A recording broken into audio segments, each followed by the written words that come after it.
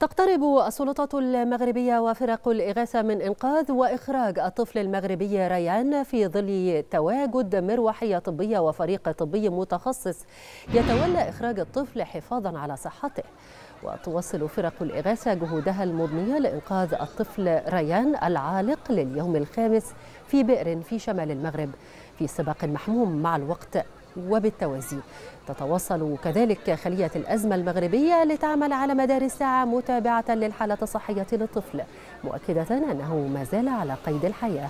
وهذه هي لقطات حية لعمليات الإنقاذ التي ما زالت مستمرة للطفل المغربي من البئر.